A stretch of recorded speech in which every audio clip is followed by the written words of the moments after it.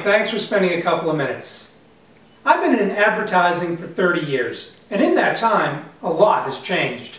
When I started, newspaper, radio, and television were the most popular ways for customers to learn about businesses. Today, it's the internet.